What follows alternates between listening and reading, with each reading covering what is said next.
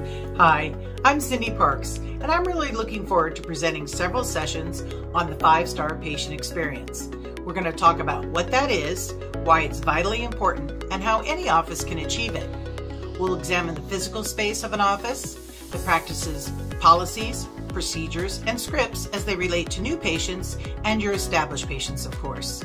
This takes a lot of pressure off the office as patients tend to make and keep appointments, the team is excited to be there, and the doctors experience overall greater practice satisfaction. So what are you waiting for? Get to your computer, register your entire team, and we'll see you at Parker Seminars in Dallas, Texas, September 30th through October 2nd. And remember, be there or be square.